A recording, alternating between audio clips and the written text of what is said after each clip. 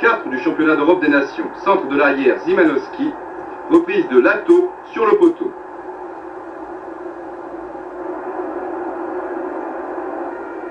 Majewski qui passe à Boniek. But de Boniek, un but à zéro pour la Pologne. C'est mal parti pour la Suisse.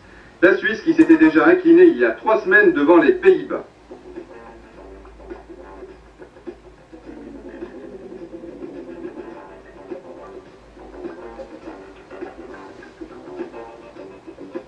Les Suisses à l'attaque Non, car nous sommes en deuxième mi-temps.